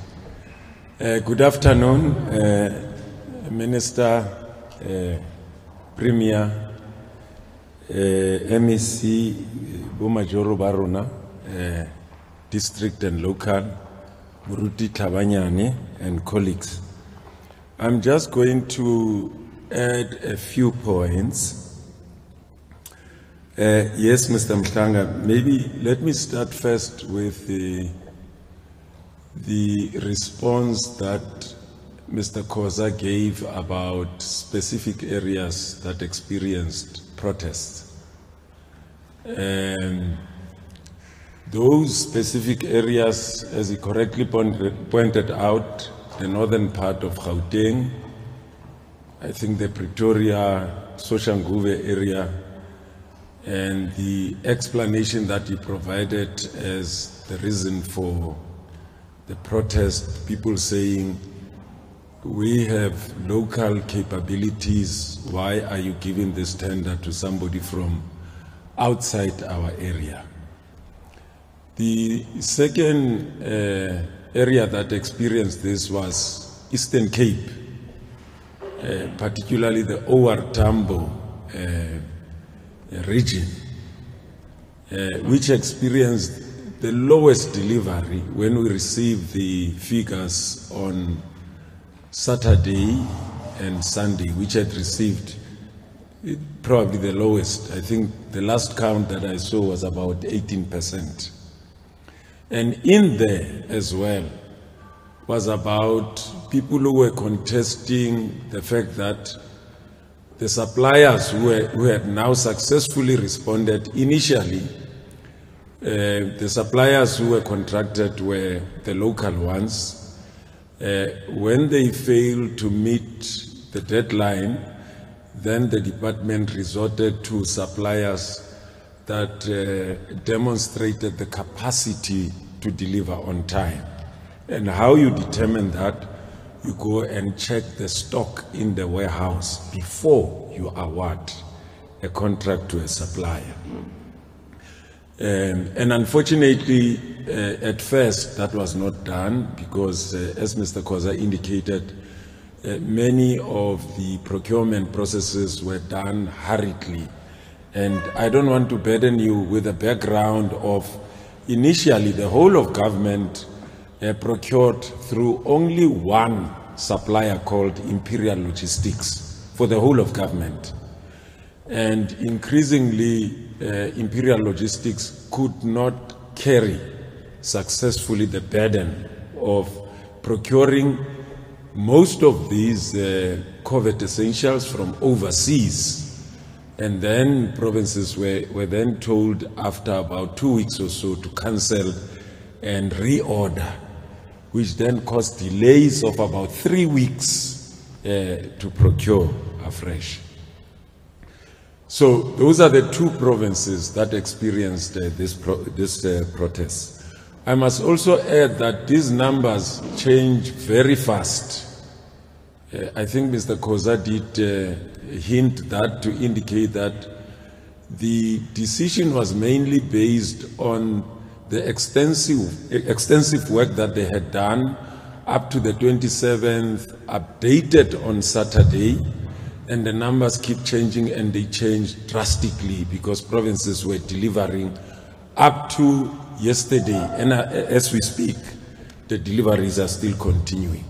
Comorbidities, there are two dimensions to comorbidities. The first dimension is the one that the minister explained, which requires that, uh, in fact, all over the world, whether it's learners or employees with pre medical conditions, they are expected to consult with a doctor, and a doctor would provide a report with supporting documents. And the advice that we've been giving in the workshops that we've been running for officials at district and even at provincial level, uh, including the Association of School Principals and the five teacher unions. We took them through these workshops. We said to them, if it is not explicit in the doctor's report that a person must stay at home, then you must go to work. It is only a medical doctor who can make a determination that the pre medical condition that you have makes you vulnerable to the environment of COVID 19 that we find ourselves in. Only a medical doctor.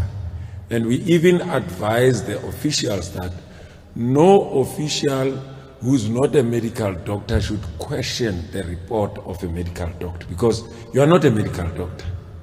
It's only a medical doctor who can subject a report of a medical doctor to a review. Some review, ask questions, and so on.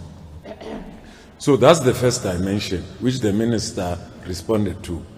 The second dimension is the protocol, the process. What happens? We met in the Education Labor Relations Council, and thank you very much to parties in the Education Labor Relations Council, especially the chairperson and the general secretary, who were able to convene an urgent meeting. A collective agreement was concluded on Saturday on how we deal with comorbidities of educators. I've already signed that collective agreement. We discussed it at HEDCOM, and HEDCOM made its inputs. The inputs were factored into the collective agreement that I signed yesterday. So we are awaiting employee parties, in other words, unions, now to sign. It will be a protocol that determines the step by step process of how teachers should go about dealing with comorbidities. Thank you. There's a question on indemnity forms. Oh, I, I, I thought the, the minister re- responded to the issue of the indemnity form. Well, schools do issue indemnity forms, not only independent schools, including public schools. But we generally take a dim view to indemnity schools because people think that they absolve them from vicarious liability. And that is not the case at all. And I'm sure if you follow cases of two learners who tragically uh, were tragically demised in Gauteng uh, towards the end of last year, you'll, you'll attest to the point that I'm making. Signing an indemnity form does not exonerate the school and the state from taking responsibility where there was negligence. Thank you.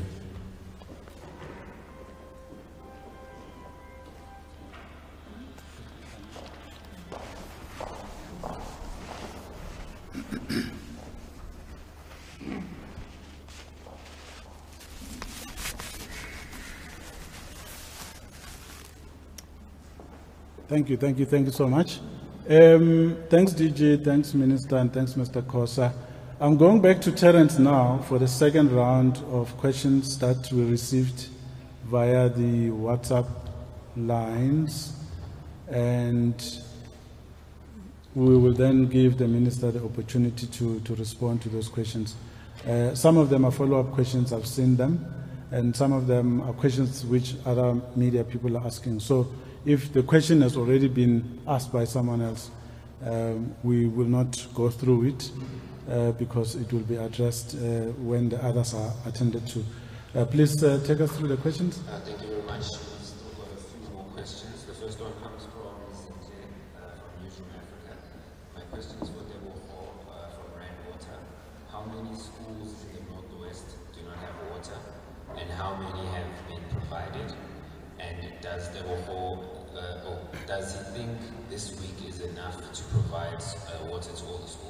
So that question again from Sinclair. How many schools in the Northwest do not have water and how many have been provided? And do you think that this week is enough to provide water to all those schools? The second question is for the minister. Unions say they have they will meet with you on the 11th on the issue of readiness. Does this mean there will be no school until then? We have another question here that has come from Cha- Chareshwa News. It's for the minister. What should learners and teachers do if they only receive one mask?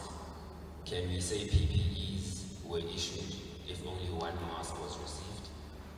Then we have Tami Twala from Bantu News. What is the department's plan with regard to the national, the, the National School Nutrition Program? We have a second question from Sapoacho from eNCA. Where learners share textbooks, what plan has been made by the department? The second question is, what would happen should a teacher test positive for COVID-19?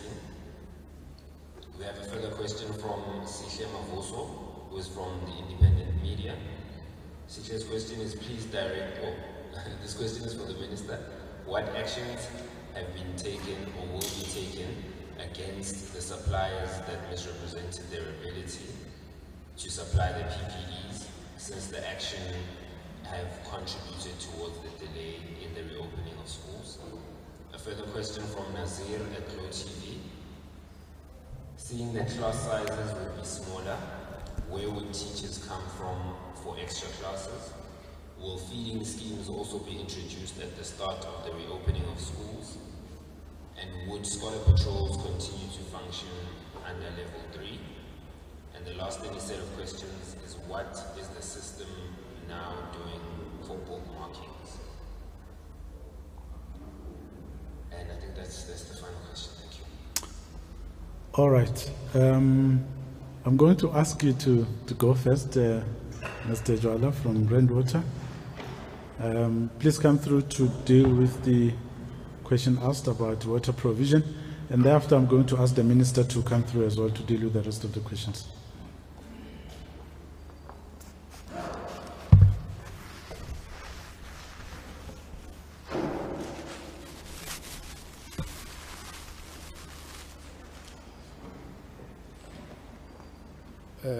Thank you once again, uh.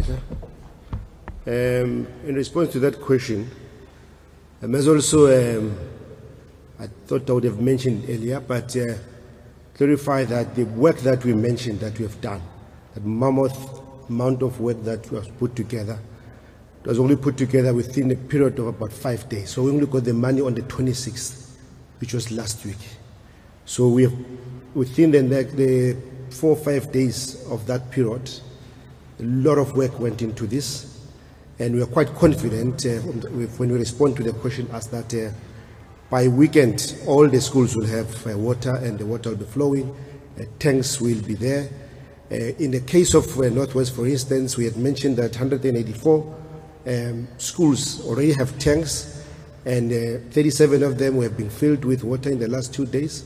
And today we are doing 68 uh, um, schools, and tomorrow we are cutting water into 69 schools. So the rest of the schools, tanks and tankers, uh, we will be cutting water and tanks will be installed throughout the week. So we're quite confident we can say safely to the nation that by weekend, which is uh, Friday, Saturday, all the schools uh, that we have been asked to do in the region of uh, 3,126 will have uh, water that is flowing and children will be uh, safe to get into those schools come the 8th. Thank you very much.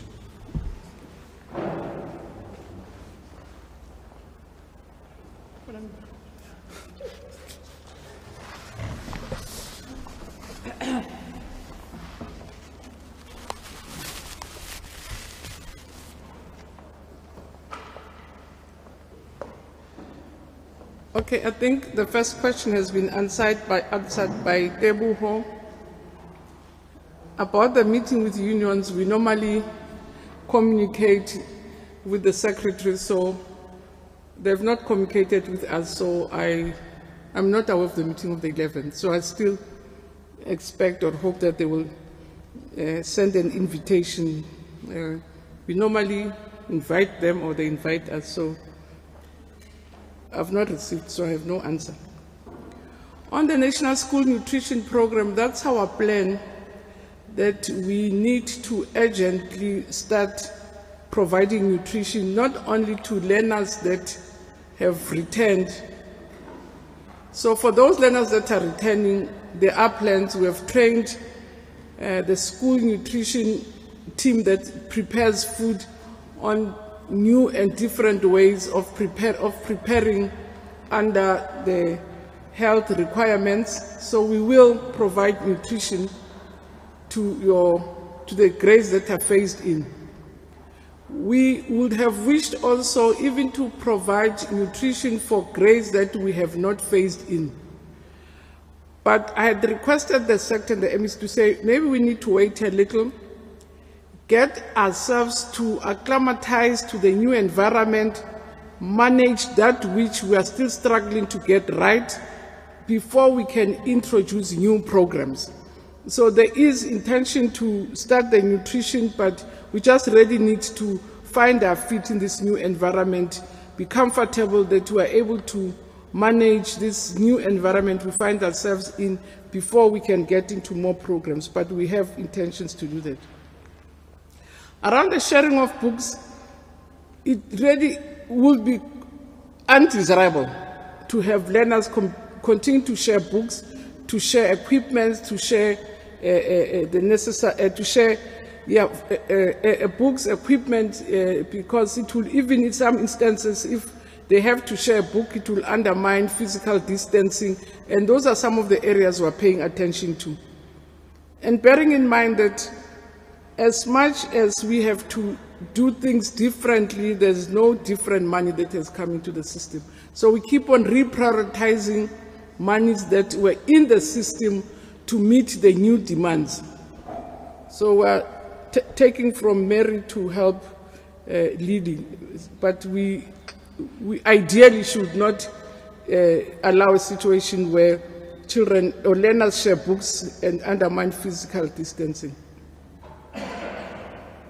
Uh, or there was a question also about what happens if a teacher tests positive.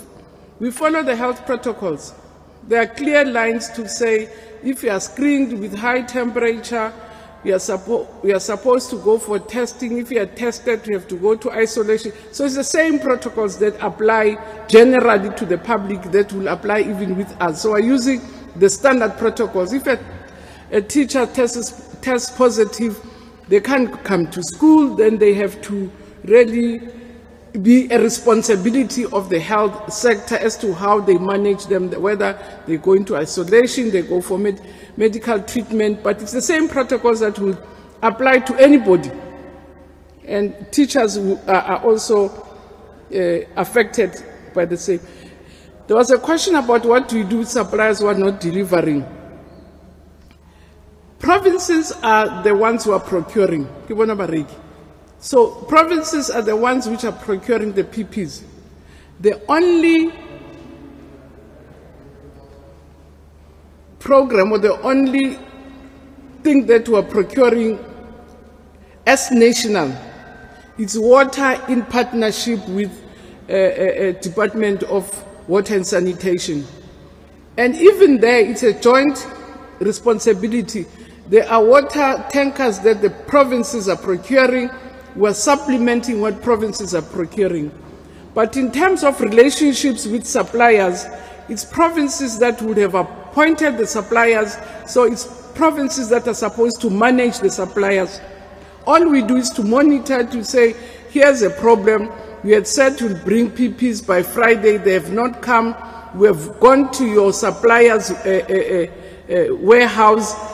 There's nothing. In some instances, we even went to their houses to say we thought perhaps your suppliers kept supplies in the garage. We've even gone to their houses. They don't have the, the equipment. So again, those, yeah, those entrepreneurs are managed by provinces. Uh, I hope I've kept, I've answered all the questions. Uh, on? Oh, on class sizes. We are anticipating a major challenge and we are taking one step at a time.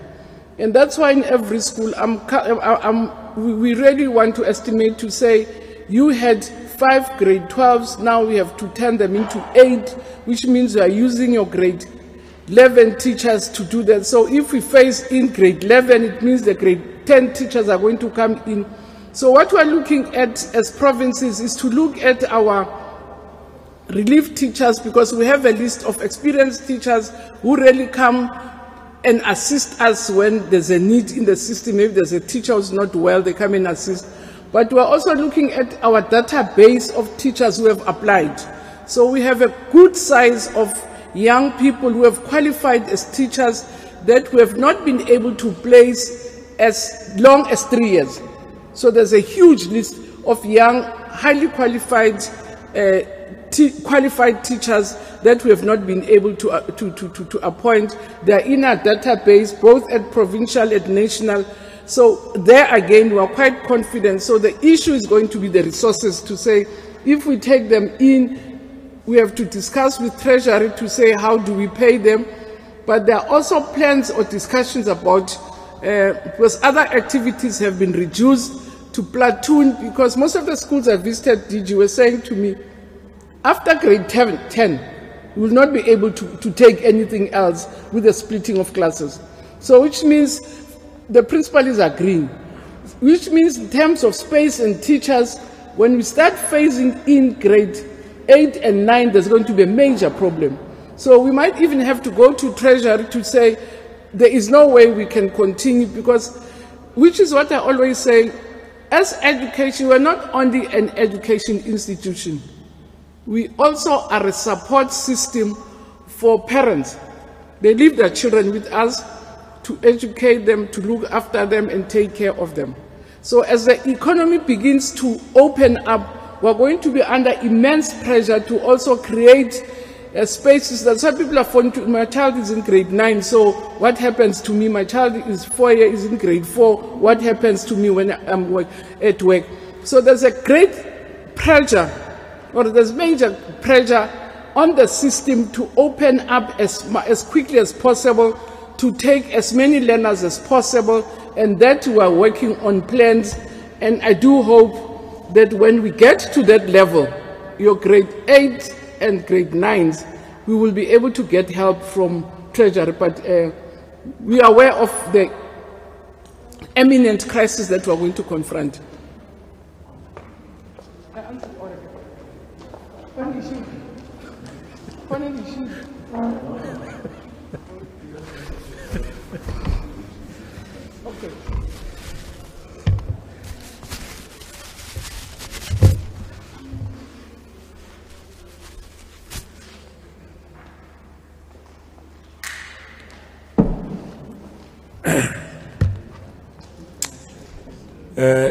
Indeed, colleagues, as the minister indicated, uh, if anything happens uh, within the precinct of a school, uh, whether it's a teacher or a learner or a non-teaching staff uh, who presents symptoms that uh, eventually uh, are confirmed to have tested positive, uh, the, the, there are what we call standard operation procedures that we issued for all schools.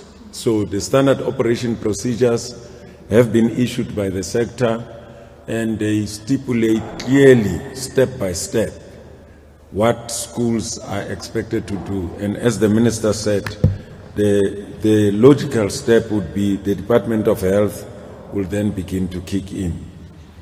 Minister, I just wanted to draw the attention of the public and the media to the directions that the minister referred to in the speech that she presented this morning.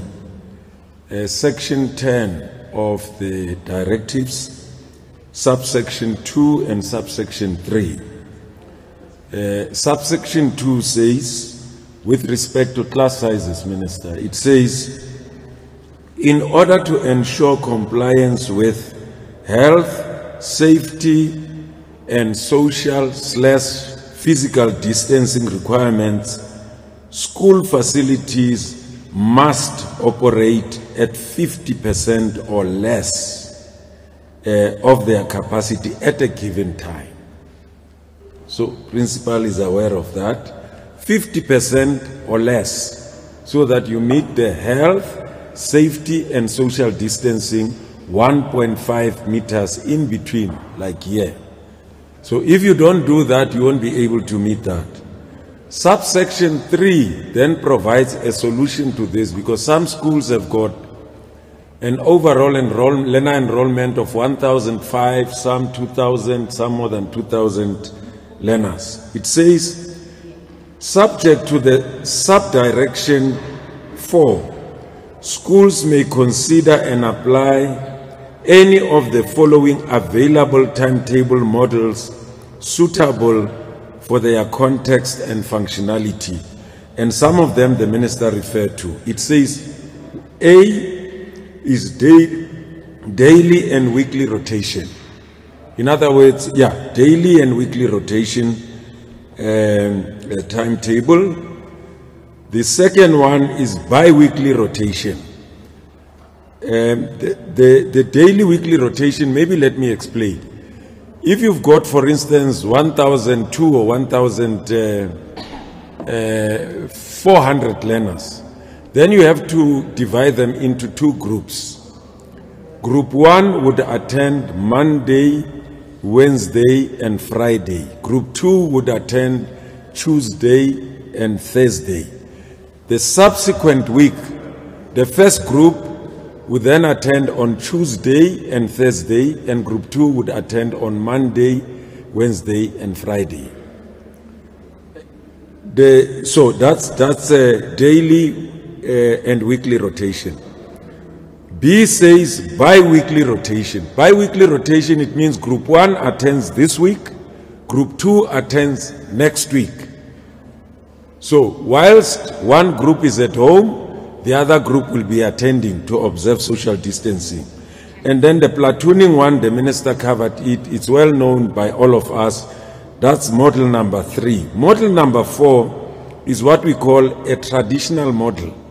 In other words, it's a timetable that this school followed before lockdown. Normal, quarter to seven, up to two o'clock, you go home. We refer to it as traditional uh, model. And then the last one, which is number five, is the hybrid of the ones that we refer to. Thank you very much, Minister.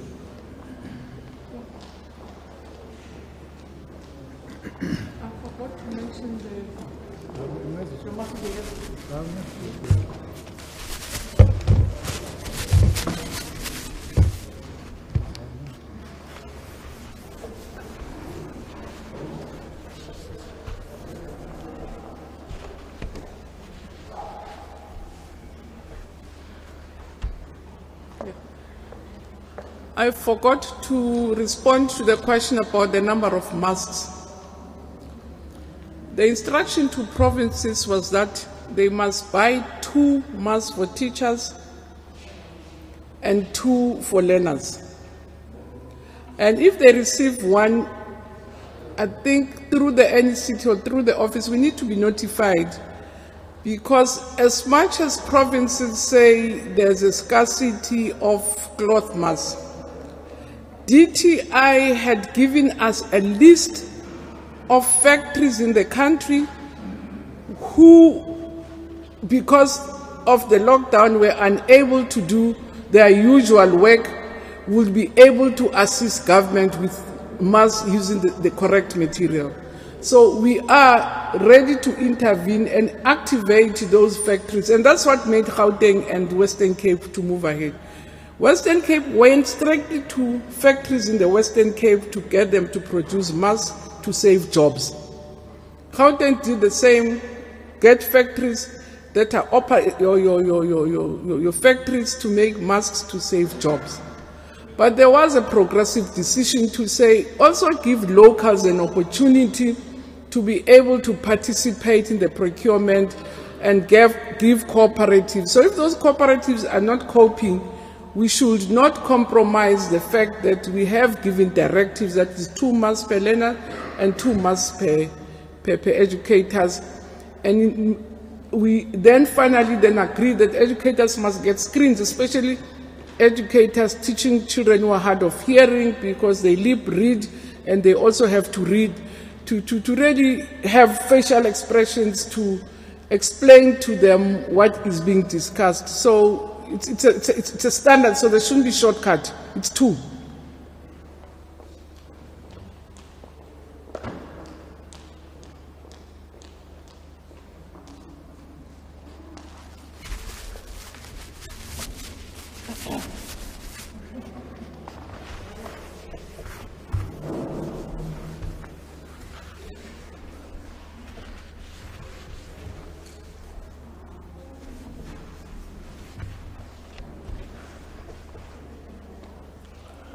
Thank you so much, uh, Minister.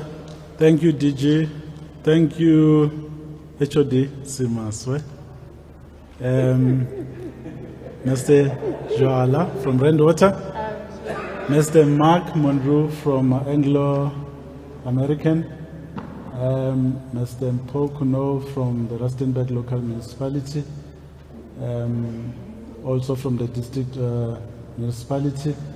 Premier Mokgoro and um, all other partners that are here that I might have omitted, Mr. Khosa, and um, the officials. Thank you so much for supporting us and this media briefing. This was the second school that we're visiting today in the Northwest Province. We are still proceeding to the third school. It is called Manape Secondary School. That's where we are proceeding to now. Um, with those words, we've come to the end of this media briefing. We will continue to engage with you using the platforms that we have. Uh, we have seen that there are a lot more questions that are still coming through, but we will not be able to deal with all the questions uh, in one day. It's a work in progress. We hope that you'll continue to work with us as we try to get the education program back on track again. Thank you so much. We really appreciate it.